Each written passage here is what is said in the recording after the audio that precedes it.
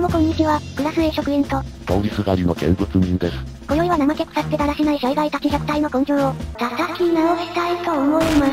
オラ起きろ、寝てる場合か、お前はこら、一斉にシャイガイが起き上がって追いかけてきたぞ。地上にいたらアキレス腱を痛めてしまうので、クラス A 職員の特権として空を飛びます。っうおー、上から見たら V 字みたいで綺麗。て、まだ起きてない奴6名ほどおるやん。こうなったら、空爆して起こします。空爆はまずい、シャイガイが死んじまうぞ。うるせえさっきから当たり前のように喋ってるけど誰だよてめえ。ほげほげゲーピアー。というわけで今回はシャイガイ100体を使って、様々な取り組みにチャレンジしたいと思います。さっき空爆した奴ら生きてるしまだ寝たままだぞ。起きろ、ニトロ爆弾だ。で、シャイガイたちが元の場所に戻っていってる？い、一体何が起きているのかしら？そして真下では、シャイガイが集まりすぎてヘビーメタルバンドのロゴみたいな形になってるわ。ヘビー、な、うっさい黙れ。とりあえずここは、神経ガスを浴びせる。な、なんでさっきシャイガイの根性鍛え直すとか言ってたよね。神経ガス強すぎるから浴びせたら死ぬよね。生き残ったやつだけ育てます。ライオンと同じ。それでは皆さん、起床時間ですよ。起こし方が雑。動物にはその動物に合ったコミュニケーション方法というものがあるの。さあ、みんな、朝のランニングの時間だよ。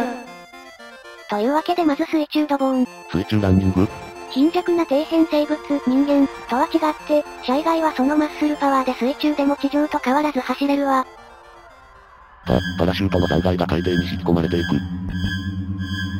こ、はというわけでシャイガイ同士の結束を高めるための、シャイガイ水中おしくらまんじゅうよ。浮気っしょ。よし、じゃあ中心地点の温度が無事100度まで上がったところで。オマハリー地上陸作戦を開始する。海中から一斉にシャイガイが突撃してきたぞ。将来戦争は生物兵器同士による戦いとなる。第二次世界大戦では大勢の人間が機銃の待ち構える基地に身一つで突撃したが、次世代の戦争はこの丘も登れるシャイガイの代理戦争となる。うおー、壁も登れるし水辺も走れる。じゃねえよバーカ。なんだこれ、ただシャイガイ走らせてるだけじゃねえか。それでは皆さん、会場の方にお進みください。一人ずつ室内へとお入りください。またなんか始まったぞ。次はなんだ？って大量に部屋に入ってくるシャイガイキモ。っては上から見たら気持ち悪い。水中で見た時はぼやけてたからあれだったけど、生で見るとすっげえ気持ち悪いぞこれ。ズームすんじゃねえ。というわけで、皆さんにはこれから、殺し合いをしてもらいます。映画、バトルロワイヤル、のビートたけし。最後の一人に生き残った者のみが、この部屋から出ることを許されます。さあ殺し合え、争い合え、競い合え、裏切り合え、伊藤萌え、お前らがどれだけ総力を用いて壁を叩こうとも、そいつは竹中工務店の超合金素材を用いて作られてるので、絶対に壊れないのだ。いや地元に根ざした中小企業みたいな名前だから、すぐに壊れそうなんだけど。逃げられた？お、おい、なんだこいつ、あの防壁は鉄壁のはず、上の換気用の隙間を除いて、スズメの涙すら通らないほど密閉されているはず。うわなんか内側面白いことになってる。う、これは、シャイガイフォーメーション。説明しよう、シャイガイフォーメーションとはシャイガイたちが力を合わせて動きをシンクロさせることで、本来の数倍、いや数百万倍もの力を引き出しどんな困難でも友情の力で乗り越えられる能力のことだ。いやシンプルに気持ち悪い。もともと気持ち悪いシャイガイが、さらに気持ち悪くなってる。ほら見て、上から見るとさらにそのシンクロ具合がわかるわ。ていうかてながこいつら。なんかパソコンの基板みたいに見えてきた。しかしたとえシャイガイフォーメーションを使おうとも、竹中工務店の超合金は絶対に壊れない。なんなら今みたいに、逆にシャイガイを取り込んで自らの超合金の一部にしてるまであるわ。うお、外に出たシャイガイが内側のシャイガイたちを助けようとしてる。そして怒りの面持ちでお前の方に襲いかかってくるぞ。パワー、結局脳筋野郎は私のような頭脳派には勝てないってことなのよ。さて、そろそろ精神訓練は終わりにしようかしら。あ、あんだけネタ振ったくせして当たり前のように解放したぞこいつ。それじゃ、次の訓練は、脚力増大マラソン訓練よ。説明しよう。脚力増大マラソン訓練とは、ボールの周りをぐるぐる回ることで脚力を増大し、たとえエベレストやマリアナ海溝などの困難な場所でも、立ち向かえるようにするための訓練である。この人、説明してくれる相手がいないから毎回自分で説明してるのかわいそう。あーこらこら、何してるのもうもうこの子たちったら、もう、胸がないんだから。腕だけ貫通して内側に大量のシャイガイ。はぁ、え、今、何起きた？って、上に登っとるやつおるオーマイガー、なんてこったい？そしてお前が投げた超合金に潰されとるシャイがおるぞ。あの子、自分がポールの上まで登れるってことを知ってほしくて、私を殺したんだわ。私が知らないうちに、そんな成長してたのねこの子たち。しかも、私がいなくなったらみんな元の場所に体育座りで整列してるし。やっぱこういうふとした瞬間に、リスペクトというか、お互いの友情を感じるわよね。てめえ頭いかれてんのか？というわけで、たまにはみんなで楽しみましょうよ。チキチキチーム対抗ボール海まで転がし大会。シャイガイたちがボールを転がしてるだと今まで普通練習で疲れてると思ったら、こんなに元気余ってたじゃないのあんたたち。うわー改めて言うともともと集団で動くシャイガイ、虫みたいで気持ち悪い。そうそうこっちこっち、こっちに転がすのよ海はこっちなんだから。あのシャイガイたちが一致団結して、本当にボールをちゃんと転がしてるだと。なんかシュールで草。うおー、やったやった、やったじゃないのあんたたち。これで私たちのチームの勝利はほぼ確定したに違いないかもしれないこともないけどもね。てか別チームってなんだよ。あ、これ私たち社以外チームだけどね、別チームはね、隣のセットにいるベビクラス A 職員率いる SCP 稲見軍団です。へ。というわけでね、みんなの頑張りを聞きつけてある人が慰問しに来てくれました。皆さん拍手で迎えてください。VTuber の港アクアさんです。あの超大物 VTuber の港アクアさん、がこんなところに来るはずないだろ。嘘つくなバカタレ。あれよあれあれ、自衛隊基地で慰問ライブする長渕剛や、サンクエンチン刑務所で慰問ライブするジョニーキャッシュと同じよ。例えが古すぎるんだよ。はい、もう水の中から出てきていいわよ。ほらみんな、みんなが好きな、港アクアちゃんよ。とりあえずこれ握手会の契約で呼んでるから、一列に並ぶために向こうに行ってもらうわ。で、全員端に引っかかって、動けなくなってる。こいつら、恥ずかしがり屋かよい。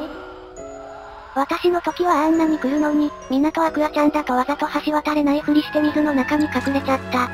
まあ男子校だから女子見るの緊張するか、体成長しても心成長してないなぁ。てめえ頭湧いてんのか？というわけでもう日も落ちてきた時間だから、みんな体育館に集合。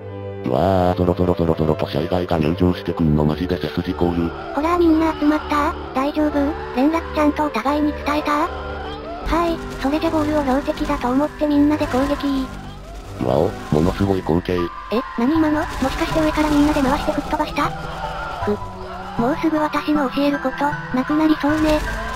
ほらほら上がってくるへこたれない。腰に力入れて腰に、押しつぶされちゃうよそんなんじゃ。はいもうすぐ今日の訓練終わるよ。最後だからって気を緩めない。ゲーセンのメダルゲームのコイン一気に落ちるゲームの要領でランニングやるよ。確かに一斉に落ちるシャイガイが、あのコインゲームのコインが一斉に落ちる時に似てるけども、シャトルラン、ガンバガンバフォーム崩さない。不安なら鏡見て確認して、私もういちいち言わないよ。はい地獄のトライアングルランニング、走る、落ちる、登る。止まったら逆にきついよ。走れ走れそこ止まるな。おら最後の追い込みじゃ、私についてこいゴリ殿。え、急に何が起きた人は厳しくばっかり接したら折れる。かといって優しくばっかり接したら怠ける。だからこうやって訓練の中でも飴と鞭が必要なんじゃい。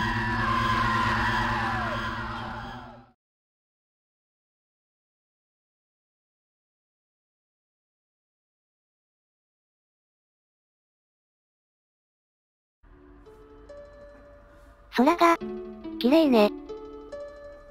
あの、あーごめんごめん、話の途中ね。あなたのおかげで、この SCP-96 たちも、ここに来た時とはだいぶ目つきが違いますよ。この100体だけで、軽く100万人以上は殺せる逸材ですよ。ええそうね。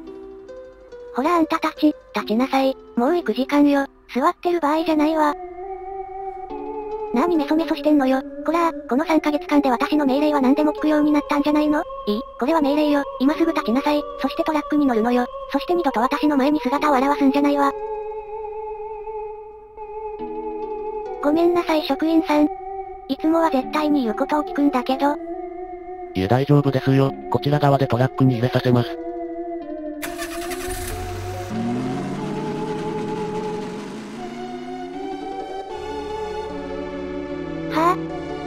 わりね。